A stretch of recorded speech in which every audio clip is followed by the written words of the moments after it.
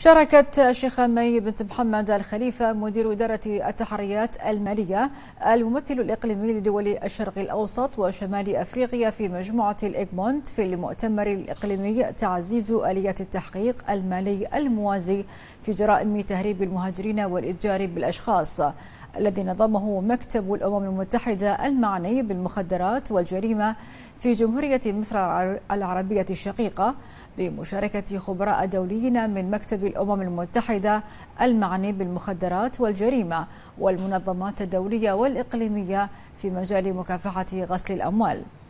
ويهدف المؤتمر بشكل أساسي إلى الجمع بين الشركاء الرئيسيين من الجهات الوطنية في منطقة شمال أفريقيا لتبادل الخبرات والتحديات والنجاحات في إجراء التحقيقات المالية في حالات الإتجار بالأشخاص وتهريب المهاجرين بالإضافة إلى طرح العديد من الأسئلة وتشكيل الرأي والأفكار والتوصيات التي ستساعد في دعم العمل حول الموضوع في المستقبل.